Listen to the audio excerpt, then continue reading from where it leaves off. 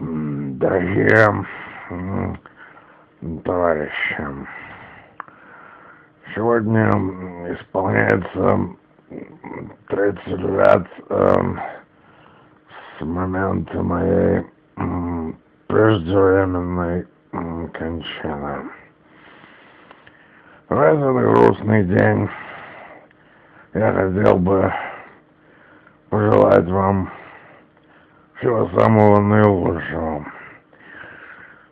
В стране с тех пор произошли большие перемены, в том числе и в плане неуклонного и поступательного движения к светлому коммунистическому э, будущему.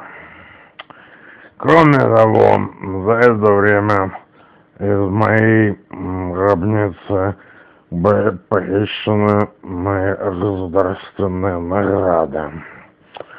В этой связи хочу заявить, что награды эти, товарищи, не настоящие, а настоящие награды находятся в одном из музеев города Москвы.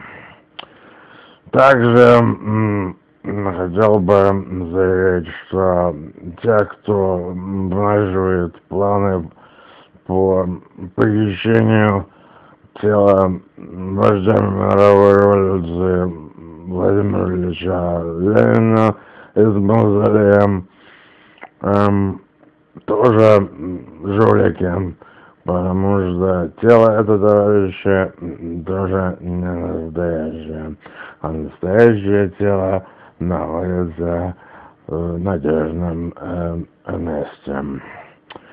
Эм, Товарищи, остерегайтесь подделок.